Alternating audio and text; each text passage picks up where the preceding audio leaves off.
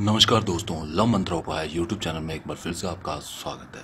दोस्तों, आज मैं बहुत ही शक्तिशाली उपाय बताने जा रहा हूँ और ज़्यादातर आज का जो उपाय है, वह भी दो रिश्तों को जोड़ने का है। अब मित्रों, ज़्यादातर इसलिए इन वीडियो को मैं बना रहा हूँ, इन वीडियो को बता रहा हूँ क्योंकि ज़्यादातर मेरे पास जो मैसेज कॉल आते हैं वे इसी से संबंधित आते हैं। आजकल रिश्ते बन कम रहे हैं और टूट ज़्यादा रहे हैं तो ये समस्या बहुत ज़्यादा हो गई है। तो इसीलिए क्योंकि हर किसी की ग्रह दशा व राशिफल अलग अलग होते हैं तो हर किसी पे एक ही टोटका काम करे, ये संभव नहीं है।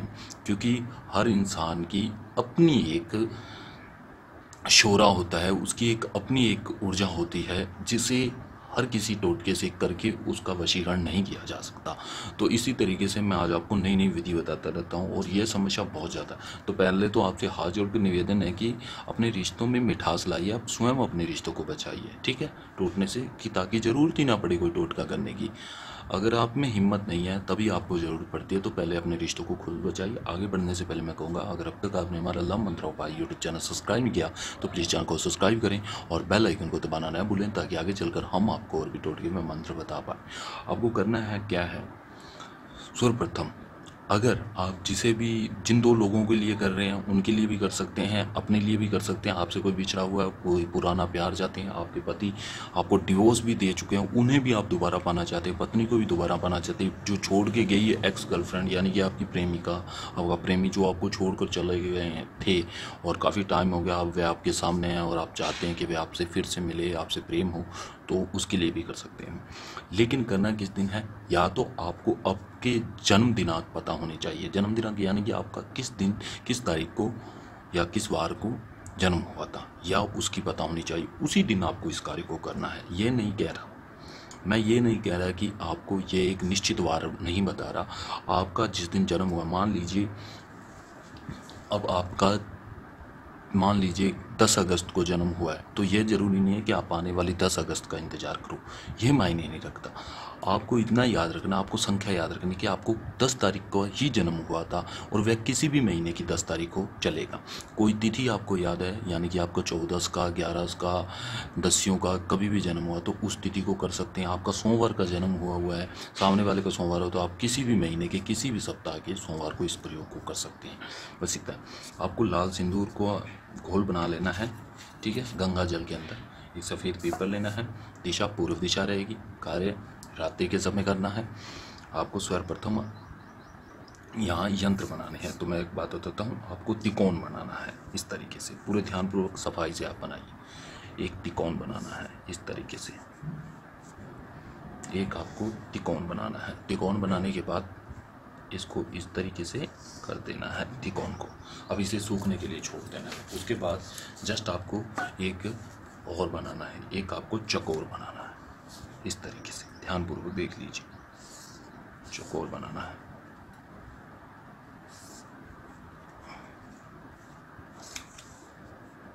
चकोर बनाना है। इस तरीके से ध्यान रहे, पूरे सावधानी पूर्वक का बना चकोर? और ये आपको चकोर बन चुका है। उसके बाद एक यंत्र, इसे भी सूखने के लिए छोड़ दे। एक यंत्र आपको और बनाना है। वह इन दोनों के बीच में आना चाहिए। आधी जैसे ये आधा चकोर के नीचे आ रहा आधी तिकोन के नीचे आ रहा है।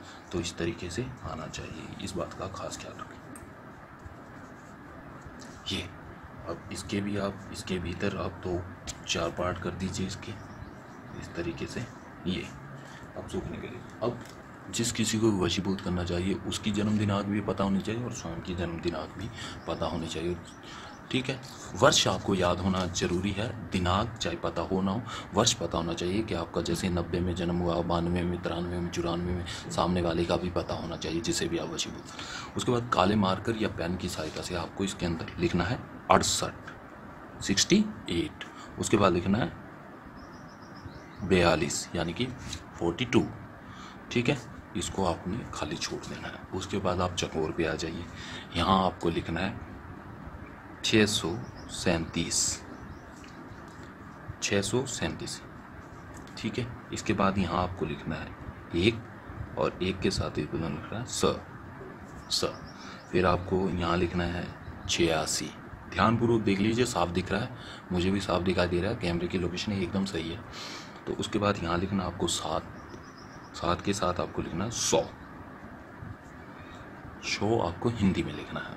फिर उसके बाद यहाँ आपको अपनी जन्म दिनांक लिखनी है। जैसे कि मान लीजिए आपका जन्म उन्नीस सौ पचानवे में हुआ है तो उन्नीस सौ पचानवे आप लिख दीजिए। यहाँ आपको लिखना है सैंतीस और यहाँ लिखना आपको फिर से स और यहाँ आपको लिखना एक बार फिर से छियासी, यानी सिक्सटी एट फिर यहाँ लिख देना स। अब यहाँ आ जाइए। अब आप तीसरे यंत्र पर आ जाइए। यहाँ आपको क्या लिखना है मैं बता यहाँ आपको फिर से एक बार अड़सठ लिखना है और यहाँ लिखना है स। और उसके बाद यहाँ आपको सामने वाले की, जिसे भी आप वशीभूत करना चाहते हैं, जिन दो लोगों को मिलाना चाहते हैं और जो सौ दो लोग हैं, उसकी बर्थ डेट लिखनी है। तो मान लीजिए उसकी बर्थ डेट है उन्नीस सौ छियानवे। आपकी पचानवे उसकी छियानवे। ये ज़रूरी है उसकी कोई भी बर्थ डेट आप डाल सकते हैं। उसके बाद यहाँ लिखना है छियासी। ये आपको लिख लेना है। ठीक है? इसे लिख देने के बाद आप अपने स्वयं अपने सामने रख लें। ये थोड़ा उड़ रहा है। हवा चल रही है थोड़ी। तो इसे अपने सामने रखना। उसके बाद आपको कोई भी, या तो आप बादाम ले लें, या कोई भी मीठी चीज़, शक्कर, या ले लें। मैंने चीनी ली है, क्योंकि इसके अंदर आपको ग्यारह ग्यारह दाने ही रखने ज़रूरी हैं। ग्यारह दिन करेंगे तो चीनी के छोटे दाने होते हैं, इसीलिए। वैसे इस विद्या में बादाम भी काम में लिए जाते हैं, लेकिन बादाम का साइज़ बड़ा होता है और जो रखने में दिक्कत आती है थोड़ी सी इसीलिए बाकी आप अगर थोड़ा बड़ा बना सकें यंत्र तो आप बादाम भी ले सकते हैं। तो आप गिन के ग्यारह दाने ले लीजिए चीनी के। साबुत चीनी के टूटे फूटे दाने ना हो, एकदम बिल्कुल स्वच्छ हो। तो मैंने ग्यारह दाने ले लिए हैं। ठीक है, इस तरीके से आपको यह ग्यारह दाने रखने हैं अपनी जन्म दिनांक पर। ठीक है, इसी तरीके से फिर से आपको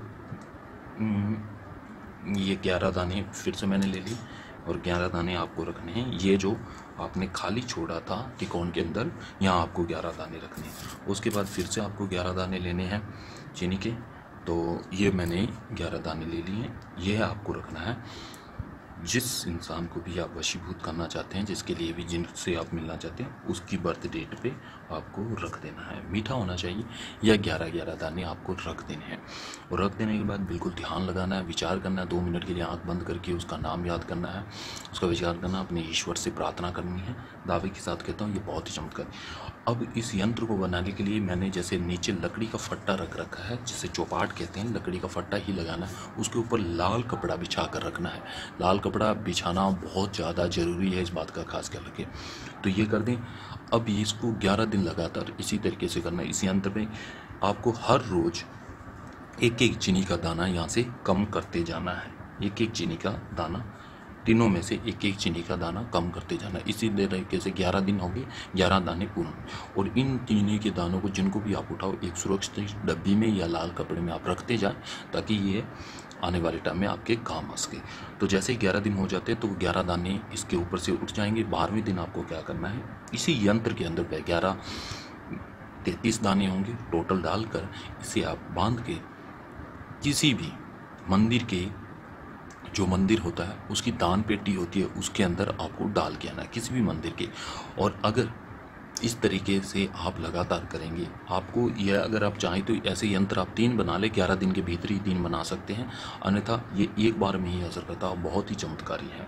और जब भी आप ऐसा कार्य करें, एक बात का खास ख्याल रखें, पूरे ध्यानपूर्वक करें, जैसा बताया गया, उसी के अनुसार करें, आपका हर कार्य सफल होगा। आपके भविष्य की मंगल कामना करते हुए मैं आपसे इजाज़त चाहता हूँ। धन्यवाद।